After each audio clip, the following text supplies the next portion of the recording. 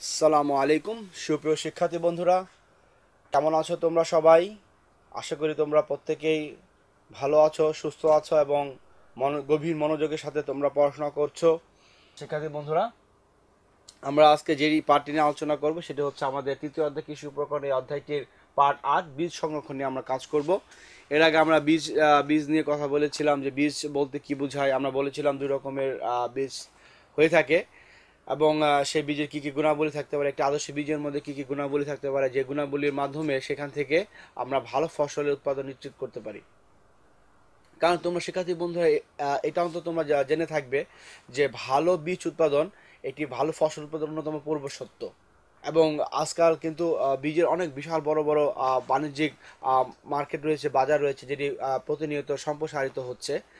তো এই মার্কেটগুলোতে যদি আমরা যথাযথভাবে আমরা যদি বাইরের দিকে যদি বীজ আমরা এক্সপোর্ট করতে চাই, আমরা যদি বাইরের দেশগুলোতে রপ্তানি করি, তাহলে সেই ক্ষেত্রে কিন্তু আমাদের অবশ্যই বীজের গুণাগুণ গুণাবলী হচ্ছে আমাদেরকে নিশ্চিত করতে হবে এবং ভালো বীজ যে উৎপাদন সেটি নিশ্চিত করতে হবে। সেটি যদি আমরা নিশ্চিত করতে পারি, তাহলে আমরা যেমন বাণিজ্যিকভাবে একদিকে লাভবান হব, অন্যদিকে আমাদের যে ফসল উৎপাদন, আমরা যখন এই বীজ দিয়ে যখন ফসল উৎপাদন করব, সেক্ষেত্রেও কিন্তু আমাদের উৎপাদন, ফসল উৎপাদন নিশ্চিত করাটা আমাদের জন্য অনেকটাই সহজ হয়ে যাবে। তো দেখো আমাদের এই বীজ সংরক্ষণের ব্যাপারে কি বলা আছে? যে উপযুক্ত সংরক্ষণ পৃষ্ঠা নম্বর সাতচল্লিশ, পার্ট আট। উপযুক্ত সংরক্ষণের অভাবে ভালো বীজও খারাপ হয়ে যেতে পারে। বাস্তবে সংরক্ষণের বিষয়টি সত্যিকারের বীজের ক্ষেত্রে বেশি প্রাসঙ্গিক। সঠিক কৌশলে বীজ সংরক্ষণ করলে ভালো বীজে যে গুণাগুলি পূর্ববর্তী পাঠে উল্লেখ করা হয়েছে, সেগুলিকে অক্ষুণ্ণ রেখে কয়েক বছর ব্যবহার করা যায়।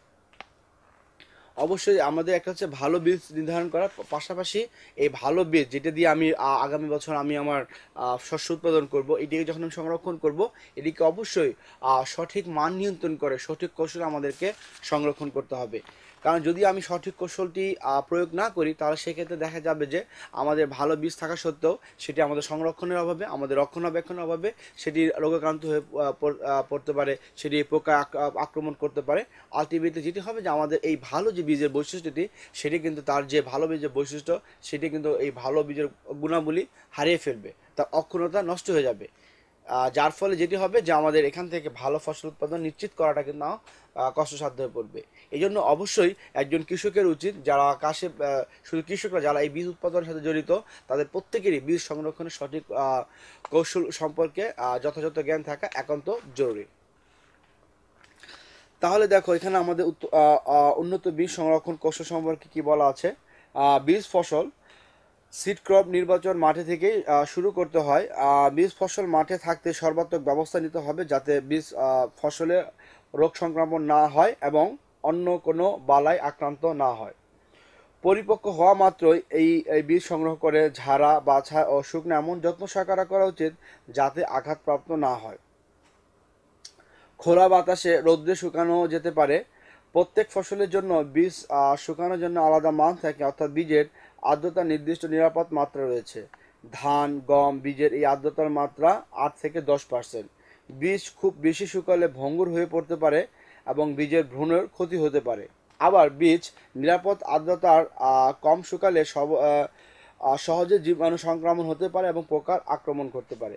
তো এখানে আমাদের, এখানে শিক্ষার্থী বন্ধুরা বেশ কিছু কিন্তু বিবেচনার বিষয়গুলো আমাদের এখানে খুব সুন্দরভাবে উপস্থাপন করা হয়েছে। আমরা একটি একটি করে ধরি। যে আমাদের এখানে যে বলা হতেছে যে, আমরা যদি কোনো বীজ ফসল, অর্থাৎ কোনো বীজকে যদি আমরা সংরক্ষণ করে পরের বছর আমাদের ফসল উৎপাদনের কাজে যদি ব্যবহার করতে চাই, তাহলে আমাদের এই বীজ ফসলটা, এই বীজটাকে আমাদেরকে মাঠ থেকে শুরু করতে হবে। অর্থাৎ এই বীজটি যখন পরিপক্কতা চলে আসবে, যখন পরিপক্কতা বলতে হচ্ছে এইটাই যে এই ভিতরে যখন ভ্রূণটা চলে আসবে, একটি সুস্থ, সবল ভ্রূণ যখন একটি বীজের মধ্যে চলে আসা শুরু করবে বা থাকবে, তখনই হচ্ছে আমাদের এই বীজটা সংরক্ষণ করতে হবে। কারণ একটা বীজের ভিতরে যে ভ্রূণ থাকে, এখান থেকে কিন্তু শিক্ষার্থী বন্ধুরা সেখান থেকে কিন্তু নতুন আমাদের একটি নতুন চারা গাছের জন্ম নেয়। তো এই জন্য আমাদের যদি পরিপক্কতা যদি না আসে, বীজের পরিপক্কতা, আমরা যদি অপরিপক্ক অবস্থায় কোনো বীজ থেকে সংগ্রহ করি, তাহলে সেক্ষেত্রে যেটি হবে যে হয়তো আমরা বীজ পাবো, কিন্তু সেই বীজের মধ্যে দেখা গেছে যে আমাদের যে ভ্রূণটি, যেখান থেকে আমাদের নতুন একটি চারা গাছ জন্মাবে সেটি হয়তো বা পরিপক্ক হবে না বা সেটি সুস্থ সবল হবে না বা নতুন চারা গাছ বেরিয়ে আসার জন্য এর মধ্যে যতটুকু সঞ্জীবনের শক্তি থাকা দরকার, সেটি থাকবে না। যার ফলে হচ্ছে আমাদের আলটিমেট আমাদের যে লক্ষ্য যে একটি বীজ থেকে নতুন চারা গাছ পাওয়া, সেটি কিন্তু পূরণ হবে না। এই জন্য আমাদেরকে অবশ্যই যখন একটি গাছের পরিপক্কতা চলে আসে একটা ম্যাচুরিটি স্টেজ চলে আসে, যখন যত শত পরিপূর্ণতা আছে, ওই সময় আমাদেরকে বীজ সংগ্রহের জন্য উত্তম সময় ধরে আমাদেরকে বীজগুলো সংগ্রহণ করতে হবে। তাহলে দেখো আমাদের এখানে লেখা আছে যে বীজ ফসল নির্বাচন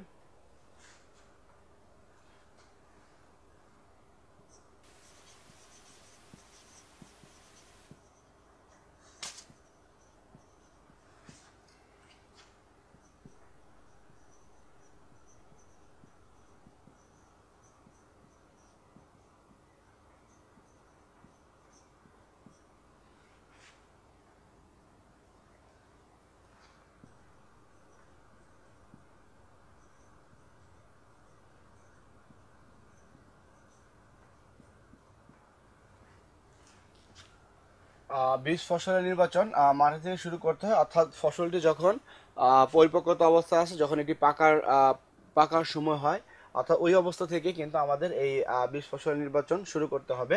অর্থাৎ মাঠে থাকা অবস্থায়। অর্থাৎ আমরা মাঠ থেকে কেনা মাঠ থেকে ফসল কাটার পর কিন্তু আমরা সেটি বীজ ফসল যেটি আমরা ঘরে রাখব সেটি চিন্তা করা যাবে না। চিন্তা করতে হবে যে ফসলটি আমরা পরবর্তী বছর সংরক্ষণের জন্য ব্যবহার করব সংরক্ষণের পরবর্তী বছর এখান থেকে চারা গাছ উৎপাদনের জন্য ব্যবহার করব, তো সেই বীজ ফসলটি আমাদেরকে মাঠে থাকতে অর্থাৎ ওই বীজ ফসলটি মাঠে থাকা অবস্থায় আমাদেরকে আমাদের বিবেচনা নিয়ে আসতে হবে।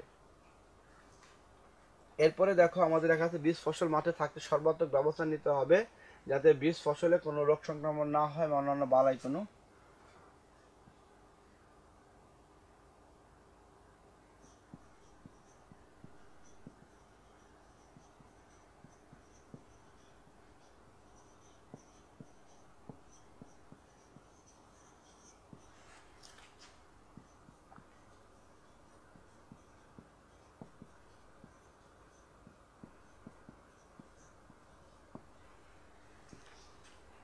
যে আমাদের দেখো লেখা আছে যে রোগ সংক্রমণ মুক্ত বীজ নির্বাচন করতে হবে।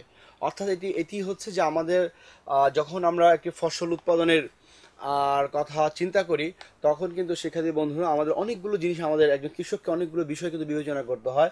তার মধ্যে একটি বিষয় হচ্ছে যে আহ, পুরা বীজ ফসল বৃষ্টি যখন উৎপন্ন হবে এই বৃষ্টি যখন পরিপক্কতায় চলে আসবে তো তখন এই যে আমাদের শুরু থেকে চারা গাছ গজানো থেকে শুরু করে একদম ফসল পাকার যে প্রত্যেকটা পর্যায়ে যে যে আমাদের অন্তর্বর্তীকালীন পরিচর্যাগুলো আছে সেটি কিন্তু আমাদেরকে সঠিকভাবে করতে হবে। অর্থাৎ আমাদের এমনভাবে বীজটিকে গ্রো করতে হবে জন্মাতে হবে যাতে করে সেখানে কোনো কোনো প্রকার জীবাণু এই বীজের সাথে লেগে না থাকতে পারে। কারণ যদি কোনো রোগ রোগ সংক্রমণ জীবাণু এই বীজের সাথে লেগে থাকে, তাহলে যখন আমরা আমাদের গুদাম ঘরে বা আমাদের সংরক্ষণ গারে আমরা যখন এই বীজগুলোকে রাখব, তো সে- ওই ওই প্যাথোজনটি ওই জীবাণু যদি অনুকূল পরিবেশ খুঁজে পেয়ে, খুঁজে পায়, তাহলে সে সেখান থেকে বংশবৃদ্ধি করবে এবং পরিশেষে যেটি হবে যে আমাদের এই সুস্থ বীজ থেকে সেটি নষ্ট করে ফেলবে।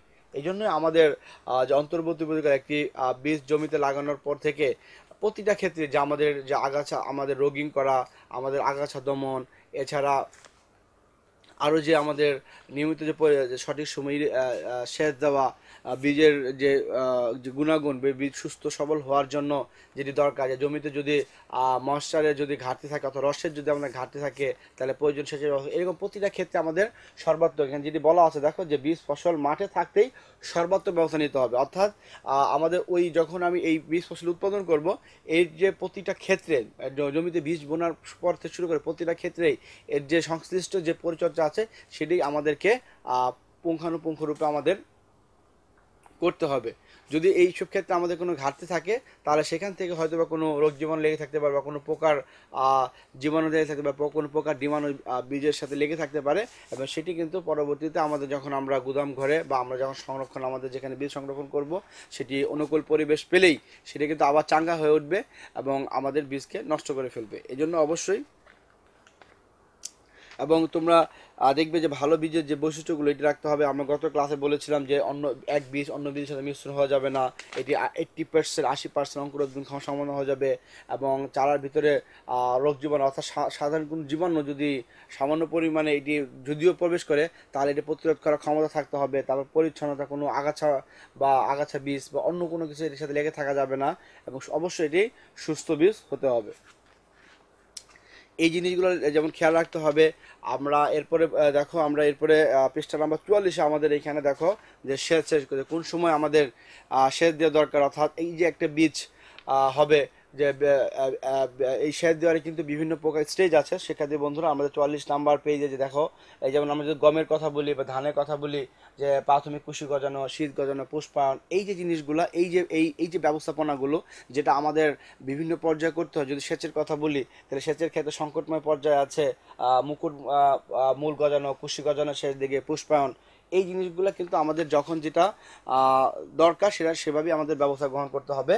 তো এখানে একটা জিনিস দেখো যে মুকুটমূল গজানো এটি তোমাদেরকে আবার একটু আমি ক্লিয়ার করে দিই। মুকুটমূল হচ্ছে, আমরা যদি একটি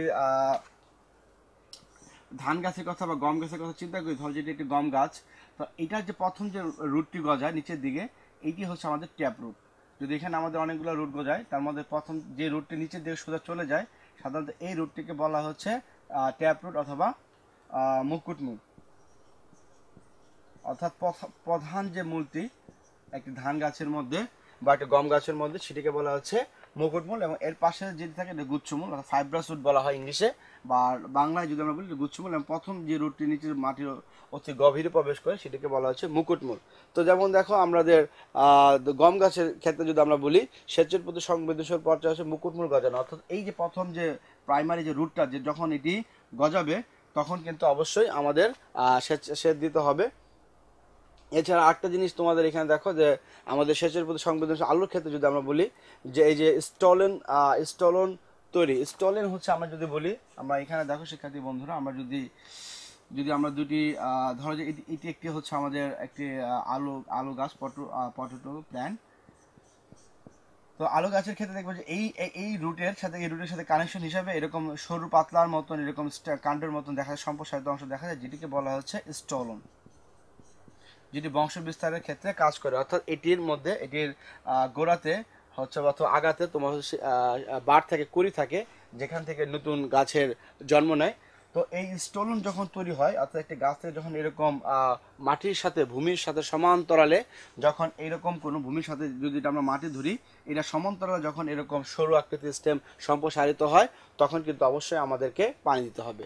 সো এই জিনিসগুলো মনে রাখা যায় আমাদের মুকুটমোড় বা স্টলেন কোন সময় আমাদের সেচ দিতে হবে, কোন সময় আমাদেরকে জীবাণু প্রতিরোধের জন্য যথাযথ আমাদের ট্রিটমেন্ট দিতে হবে, পরিশোধন করতে হবে আমাদের বীজকে আমাদের পোকামাকড় প্রয়োজন কোন সময় আমাদের ইনসেক্টিসাইড এই প্রত্যেকটি জিনিস কিন্তু এবং ইনসেক্টিসাইড দেওয়ার সময় আমাদের কিন্তু মাথায় রাখতে হবে যে এটি যেন যথেষ্ট পরিমাণে বেশি না হয়। অর্থাৎ যতটুকু পরিমাণ হবে যতটুকু আমাদের দরকার, সেটিকে সঠিকভাবে বিবেচনা করে, সঠিকভাবে অ্যানালাইসিস বিশ্লেষণ করেই হচ্ছে আমাদের এই আমাদের যে ওষুধ আছে, বিভিন্ন ধরনের যে পোকামাকড় উপদ্রব থেকে রক্ষা করার জন্য বা আমাদের জীবাণু প্রতিরোধ করার জন্য, জীবাণুকে মেরে ফেলার জন্য, সেটি আমাদেরকে সঠিক মাত্রায় সঠিক ডোজে দিতে হবে। বেশি দিলে কিন্তু এটি কিন্তু আমাদের পরিবেশের জন্য ক্ষতিকর।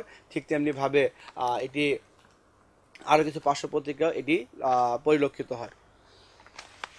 তো এটি আমরা দেখলাম যে আমাদের রোগ সংক্রমণ নির্বাচন করতে হবে, যেটা আমি বললাম যে খুবই যত্ন সহকারে এই এই জিনিসগুলো আমাদের করতে হবে যেটা আছে যে মাঠের সাথে সর্বাত্মক ব্যবস্থা নিতে প্রতিটা ক্ষেত্রে আমাদের এভাবে সর্বাত্মক ব্যবস্থা নিতে হবে।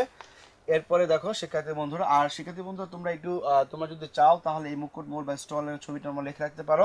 কারণ যখন তোমাদের এই চুয়াল্লিশ নাম্বার পেজে যখন তোমরা এই চারটা পড়বে, তখন হয়তো বা তোমাদের মনে আসতে পারে যে মুকুটমূল কোনটি বা স্টলন কোনটি। সেটির জন্য তোমরা কিন্তু এটি তোমাদের ছবিতে তোমাদের বইতে এটি এঁকে রাখতে পারো তাহলে তোমাদের এটি বুঝতে সুবিধা হবে। এরপর যেটা আমাদের দেখা আছে যে পরিপক্ক হওয়া মাত্র এই বীজ সংগ্রহ করে আমাদের যত্ন সহকারে হচ্ছে আমাদের কি করতে হবে? ঝাড়া বাছা এবং এরপর যদি আমরা লিখি শিক্ষার্থী বন্ধুরা যত্ন সহকারে আমাদের ঝাড়া মানে ঝাড়াই করতে হবে ঝাড়া বাছা ও শুকাতে হবে। শুকাতে হবে যত্ন সহকারে। অর্থাৎ আমাদের বীজ সংগ্রহ আমরা পরিপক্ক অবস্থায় রোগমুক্ত বীজ আমরা ফসলতে সংগ্রহ করার পরে পরবর্তী যে কাজ, এখান থেকে ঝাড়া, অর্থাৎ এর মধ্যে যেন কোনো আগাছার কোনো অংশ না থাকে, অথবা কোনো বীজ ম্যাকশন না করতে হবে আমাদের সঠিকভাবে বাঁধাতে হবে এবং শুকাতে হবে। এটি কিন্তু খুবই গুরুত্বপূর্ণ একটি ব্যাপার বীজ উৎপাদনের ক্ষেত্রে। কারণ প্রতিটি বীজের জন্য একটি কিন্তু সঠিক মাত্রা, আমাদের একটি আইডিয়াল রেঞ্জ একটা আদর্শ মাত্রা রয়েছে যে আমার এই বীজের মধ্যে কতটুকু আমাদের ময়শ্চার থাকতে পারে, আর্দ্রতা থাকতে পারে এবং সেটি যদি মেনটেন না করা হয়, তাহলে কিন্তু এই বীজের জন্য মারাত্মক ক্ষতি ডেকে আনে। যেটি আমরা আমাদের এই পেজের শেষের দিকে পড়ব শিক্ষার্থী বন্ধুরা। দেখো, আমাদের দেওয়া আছে যে প্রত্যেক ফসলের জন্য, এই বীজ শুকানোর জন্য আলাদা মান থাকে, যে বীজের আর্দ্রতার নির্দিষ্ট নিরাপদ মাত্রা রয়েছে। ধান, গমের বীজের জন্য আর্দ্রতার মাত্রা দেখো আট থেকে দশ পার্সেন্ট যে আমাদের ধান, গমের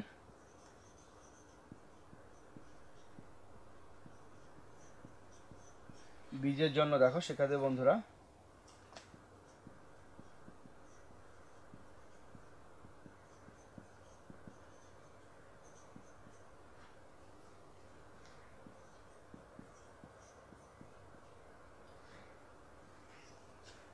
আট থেকে দশ পার্সেন্ট অর্থাৎ আমাদেরকে যখন আমরা বীজ শুকাবো এই আমাদের অবশ্য এই আমাদের মশলাটা এটা আমাদের একটি মশলার মিটার আছে, সেই মিটারের সাহায্যে, সেই যন্ত্রের সাহায্যে। যেমন আমরা আমাদের শরীরে যেমন যখন জ্বর আসে, তখন কিন্তু আমরা থার্মোমিটারের সাথে আমরা আমাদের শরীরের তাপমাত্রাকে মাপতে পারি। আমাদের শরীরে, আমাদের শরীরের ভিতরে কতটুকু তাপমাত্রা রয়েছে, ঠিক আমাদের এরকম মশলার মিটার আছে হাইড্রোমিটার আছে, আমাদের ডিভাইস আছে, যে ডিভাইসের মাধ্যমে আমরা এই বীজকে ওই মেশিনের উপরে ডিভাইসের উপর একটা অটোমেটিক এটি স্বয়ংক্রিয়ভাবে এটি প্রদর্শন করে যে এটির ভিতরে কতটুকু আমাদের আর্দ্রতা আর্দ্রতা রয়ে গেছে।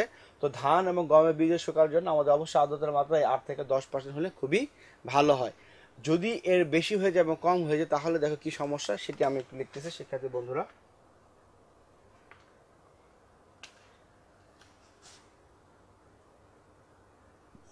যদি আমাদের আট থেকে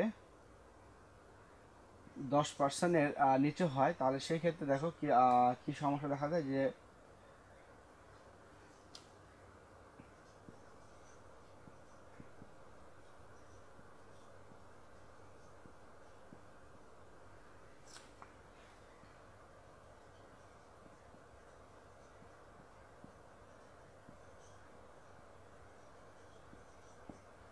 দেখো শিক্ষার্থী বন্ধুরা, যে যদি আমাদের এই যে রেঞ্জ এই রেঞ্জের যদি আমাদের কম হয়, সেক্ষেত্রে হচ্ছে বিষ শুকিয়ে আমাদের ভ্রূণের ক্ষতি হতে পারে। অন্যদিকে যদি আমরা বলি যে যদি এটা আমাদের বেশি হয়ে যায়, আট থেকে দশ পার্সেন্ট হয়ে যায়, অর্থাৎ যদি বেশি পরিমাণ আমাদের যদি রস থাকে বা ময়শ্চার থাকে, আদ্র থাকে, সেক্ষেত্রে যেটি হতে পারে, দেখো শিক্ষার্থী বন্ধুরা, যে আমাদের জীবাণু, ক্ষতিকর জীবাণু সংক্রমণ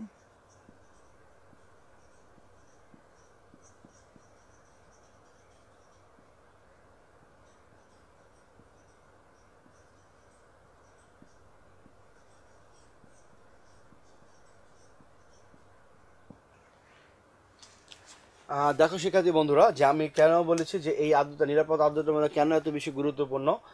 তোমরা দেখলেই বুঝতে পারবে যে দেখো আমাদের ধান এবং গমের বীজের জন্য যে আর্দ্রতার মাত্রা আট থেকে দশ পার্সেন্ট এটি যদি এর কমে যায়, তাহলে বীজ শুকিয়ে আমাদের যে ভ্রূণ, যেখান থেকে আমাদের নতুন একটি, আমি এর আগেও তোমাদের ছবিতে দেখিয়েছিলাম যে আমাদের ধান গাছের কথা চিন্তা করি, তো এই দিকে একটা এরকম আমাদের ভ্রূণ থাকে, যেখান থেকে হচ্ছে আমাদের নতুন চারা গাছ জন্ম হবে। তো সেই বীজ যদি খুব পরিমাণে আশঙ্কাজনক হারে যদি এরকম আমাদের পানি কমে যায়, তাহলে সেক্ষেত্রে দেখো এই যে আমাদের যে ভ্রূণটি আছে, সেই ভ্রূণটি কিন্তু ক্ষতিগ্রস্ত হওয়ার সম্ভাবনা থাকে। আবার অন্যদিকে যদি আমাদের এটি আট থেকে দশ পার্সেন্ট যদি বেশি পরিমাণে আমাদের পানি থাকে বা আর্দ্রতা থাকে, তাহলে এটি কিন্তু হচ্ছে আমাদের জীবাণু, ক্ষতিকর যে জীবাণু আছে প্যাথোজেন আছে, এটি গ্রো করার জন্য, এটি জন্মানোর জন্য তার অনুকূল পরিবেশ খুঁজে পায় এবং পোকা, পোকাদের ক্ষেত্রেও।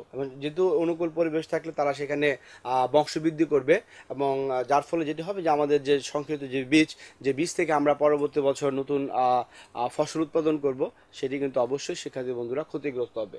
তো এই জন্য অবশ্যই আমাদের এই ধান এবং বীজের আর্দ্রতার মাত্রা আমাদের আট থেকে দশ পার্সেন্টের মধ্যে রাখতে হবে। তো এখন আমরা এইটা আমাদের প্রথম পেজে যে এটাই বলা আছে, এখন আমরা চলে যাব। শিক্ষার্থী বন্ধুরা, আমাদের দ্বিতীয় পেজে কি আছে? তোমরা একটু এই ছবিটা কিন্তু অবশ্যই মুকুট, মূল এবং স্টলন এই দুটি ছবি আমি তোমাদের আবার এক থেকে দুই মিনিট সময় দিচ্ছি। তোমরা একটু এই ছবি দুটো এঁকে নাও। কারণ এটি একটি গুরুত্বপূর্ণ ছবি। তোমরা নিজেরা যখন বাসা অধ্যয়ন করবে, তখন হয়তো বা তোমাদের মধ্যে এটা আসতে পারে যে মুকুটমল কি স্টলন কি। তারপর আমি বলেছি কন্দ।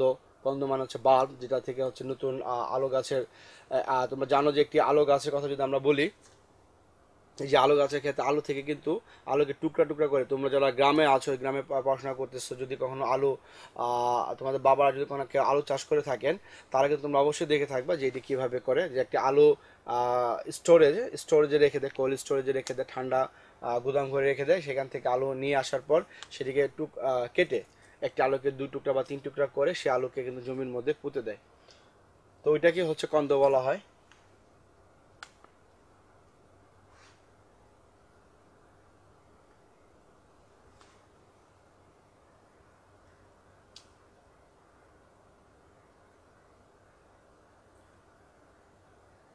আশা করি তোমাদের কি হয়ে গেছে। এরপর আমরা আমাদের পরের প্যাসেজটাতে চলে যাই শিক্ষার্থী বন্ধুরা।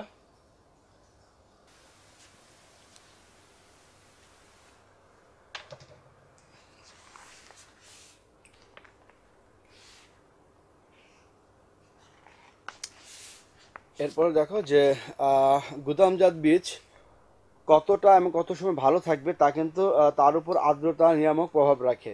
বীজের আর্দ্রতা ছাড়াও যে পাত্রে বীজ রাখা হয় তার অভ্যন্তরে এবং যে গুদামে বীজ ভরা পাত্রগুলো রাখা হবে, তার অভ্যন্তরীণ আর্দ্রতার প্রভাবও রাখতে পারে। এবং তবে যদি বীজ রাখার পাত্রটি এমন হয় যে যার ভিতরে বায়ে প্রবেশ করতে বা বের হতে না পারে তাহলে ভালো বীজ নষ্ট হওয়ার আশঙ্কা থাকে না। অর্থাৎ এখানে বলা হচ্ছে যে আমরা যদি কোনো একটি কন্টেইনারের মাধ্যমে, কোনো একটি পাত্রের মধ্যে যদি আমরা আমাদের বীজগুলোকে সংরক্ষণ করি তাহলে সেই ক্ষেত্রে ওই কন্টেইনারের ভিতরে এটা বায়ুরোধী কিনা, অথবা এটার ভিতরে বাইরে থেকে সেই পাত্রটির মধ্যে বাতাস প্রবেশ করে কিনা, সেটি আমাদের বিবেচনা আমরা রাখতে হবে। কারণ সেটির উপর আমাদের ভালো বীজ থাকার নির্ভর করে এবং পাশাপাশি আমরা যেই রুমের মধ্যে, যে কক্ষটির মধ্যে আমরা এই বীজগুলোকে সংরক্ষণ রাখব, অর্থাৎ আমাদের পাত্র ভর্তি এই বীজগুলো যেই রুমে রাখব সেই রুমের আর্দ্রতার উপরে কিন্তু আমাদের ভালো বীজের যে সংরক্ষণ সংরক্ষণে যে ভালো থাকা সংরক্ষণে যে ফলে যে ভালো থাকা, সেটি নির্ভর করে। তো এখানে যেটি বলা হলো যে আমাদের যে তবে তবে যদি বীজ রাখার পাত্রটি এমন হয় যে যার ভিতরে বায়ু প্রবেশ করবে না বা বের হতে পারে না, তাহলে ভালো বীজ নষ্ট হওয়ার আশঙ্কা থাকে না। তো হচ্ছে যে, তাহলে হচ্ছে যে আমাদের যেটি রাখতে হবে যে যদি আমাদের এই বীজ রাখার পাত্রটি যদি বায়ুর বায়ুরোধী হয়ে থাকে, অর্থাৎ এর ভিতরে যদি বাইরে থেকে বায়ু যদি ভিতরে প্রবেশ না করে, তাহলে সেক্ষেত্রে অবশ্যই আমাদের বীজ ভালো থাকার সম্ভাবনা থেকে যায়। তাহলে এখানে আমাদের হচ্ছে যে যে দুটি জিনিসের উপর আমাদের এই গুদাম জাবি কতটা সময় বা কত সময় ভালো থাকবে, সেটি হচ্ছে দুটি জিনিস দেখো, দুটি জিনিসের উপর নির্ভর করে।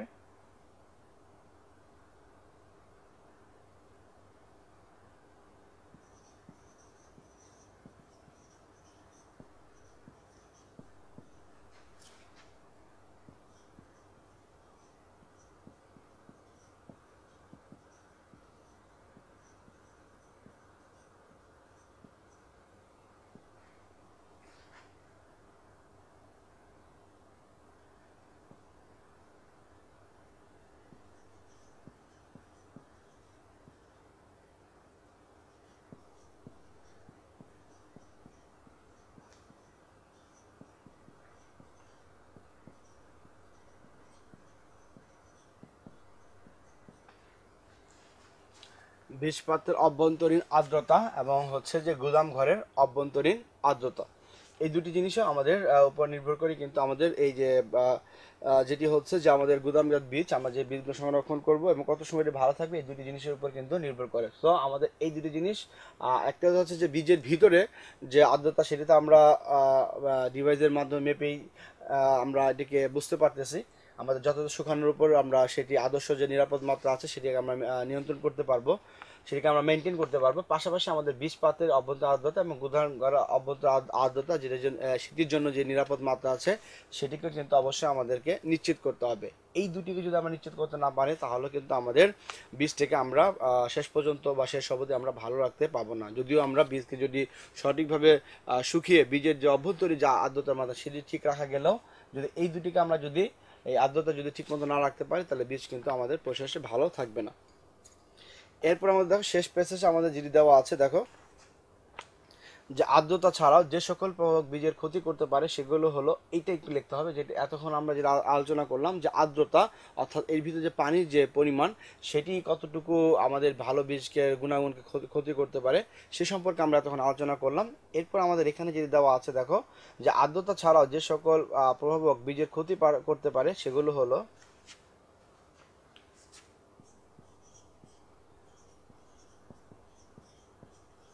উচ্চ তাপ।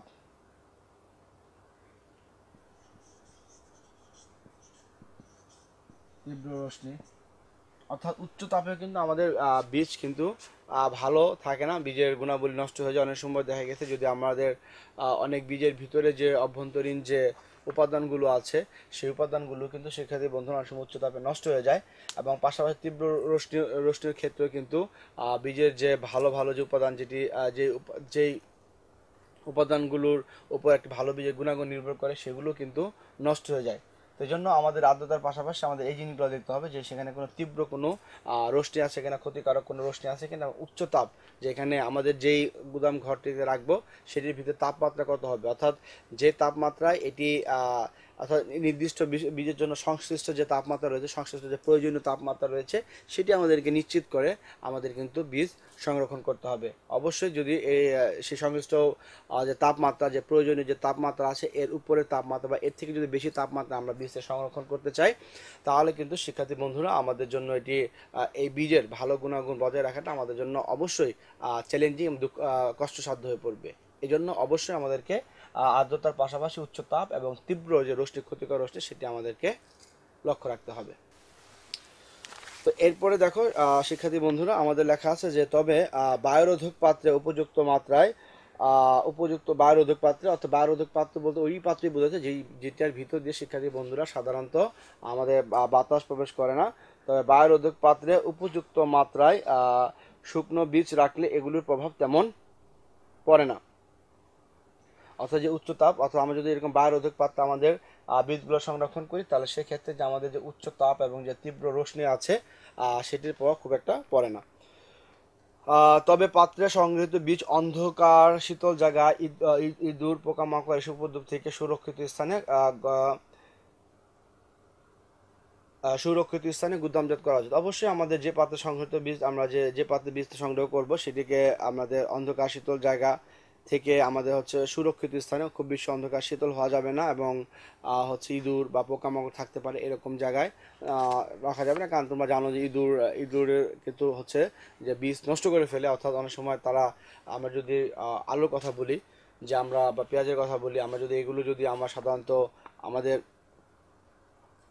আমাদের যে দড়ির বস্তা আছে, অর্থাৎ আমাদের যে সুতার বস্তাগুলো আছে, এই বস্তা দিয়ে হচ্ছে, বা পাটের বস্তা যেটার কথা বলি আমরা, সেটির সেটির মধ্যে কিন্তু ঢুকিয়ে প্রবেশ করিয়ে বীজ সংরক্ষণ করা হয়। তো যদি এইসব এইসব গুদাম ঘরের ভিতরে ইঁদুরের উপস্থিত থাকে, তাহলে ইঁদুর অনেক সময় কেটে এগুলোর বিভিন্ন অংশ, অর্থাৎ যে, যেটি আমাদের ভক্ষণযোগ্য অংশ সেই অংশকে নষ্ট করে ফেলে।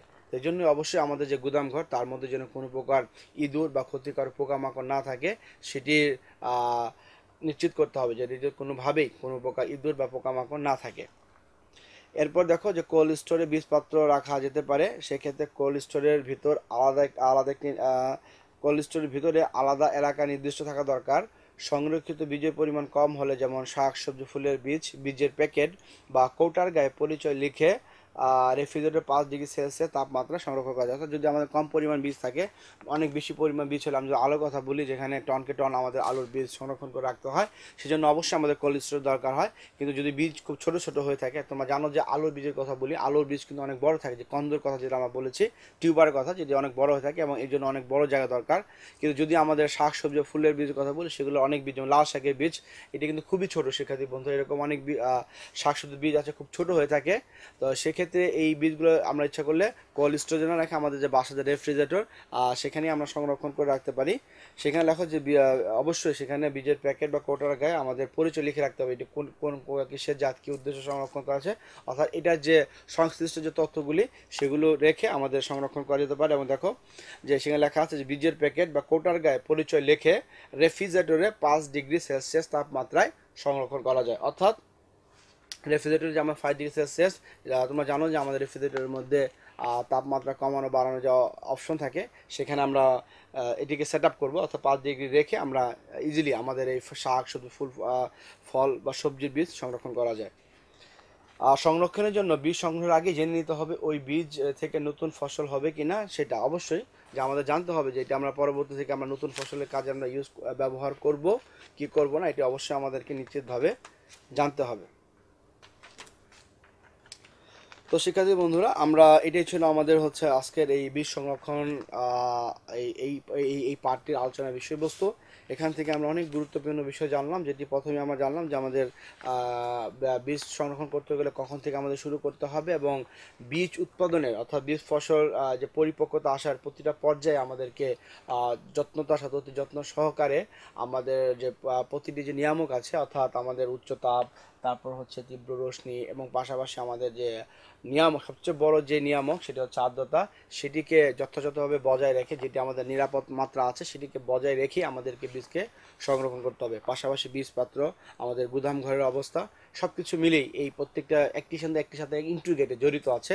এই প্রত্যেকটা ক্ষেত্রে আমাদের যদি আমরা যত্ন সহকারে, আমরা যদি গুরুত্ব সহকারে এই বিষয়গুলোকে যদি আমরা মেনটেন করতে পারি, নিরাপত্তার যে বিষয়গুলি আছে, এটি যদি মেনটেন করতে পারি, তাহলে অবশ্যই আমরা বীজ সংরক্ষণ করে সেখান থেকে আমরা খুব সুন্দরভাবে, আমরা ভালোভাবে আমরা ফসল উৎপাদন করতে সক্ষম হব। তো শিক্ষার্থী বন্ধুরা, তোমরা সবাই ভালো থাকবে, তোমাদের সুস্বাস্থ্য কামনা করে আজকে এখানে আমার ক্লাস শেষ করতে যাচ্ছি। আসসালামু আলাইকুম।